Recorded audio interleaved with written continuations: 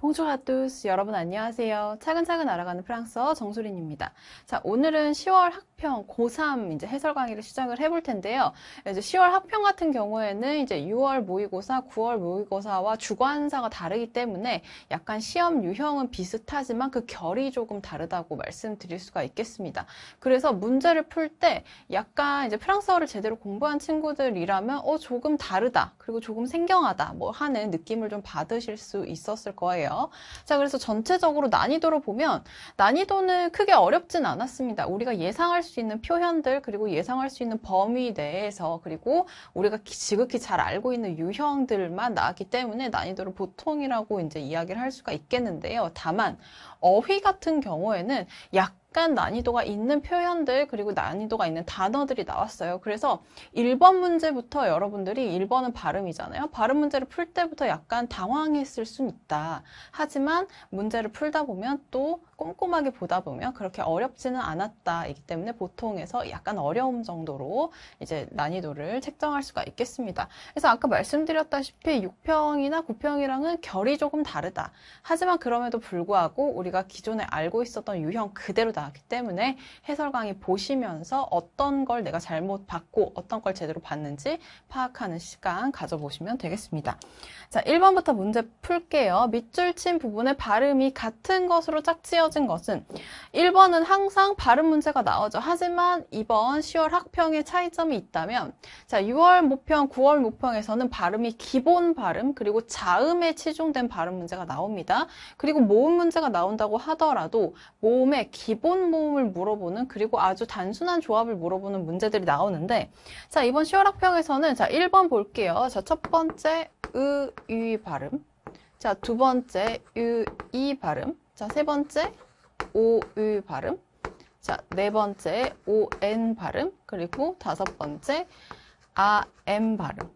자, 보시면 자, 네 번째, 다섯 번째는 비음이죠. 그리고 세 번째 있는 건 우리가 잘 알고 있는 이제 기본적인 모음의 조합이고, 자, 첫 번째, 두 번째 보기는 우리가 약간 생소하게 느낄 수 있는 모음 조합입니다.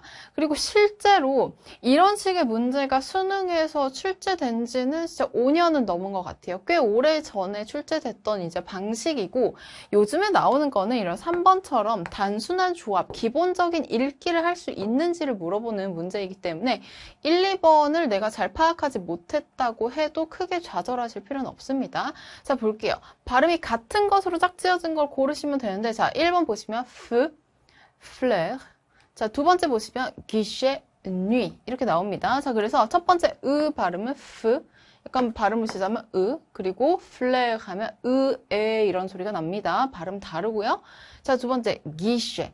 guichet 할 때는 그냥 이 소리가 나는데, 자, 두 번째 nuit. 누이라고 해서 유 발음이 조금 사는 발음이 나고요. 자, 세 번째. 무데이, 풀레. 이거는 항상 우 소리가 나죠? 자, 네 번째. monsieur, bonjour. 자, 비음 같은 경우에 옹은 항상 옹으로 읽어주되 monsieur는 대표적인 발음이 불규칙하게 나는 단어였고 자, examen, campagne. 자, 두 번째 있는 am은 비음이지만 examen, egg, 이 아가 앞에 있는 X랑 붙어서 그 자, 아 소리가 나요. 그러니까 비음이 안 나고 뒤에 멍은 이 M은 뒤에 붙습니다. 자, 그렇기 때문에 이거 하나의 비음으로 처리하는 게 아니고 따로 나눠서 이렇게 소리 나는 단어입니다.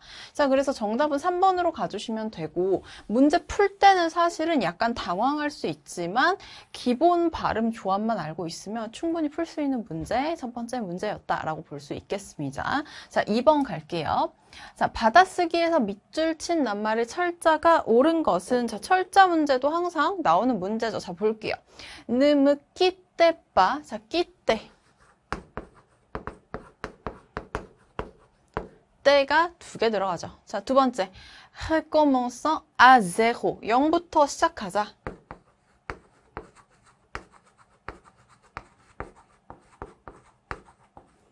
M이 두 개 필요하고요. 자, 세 번째.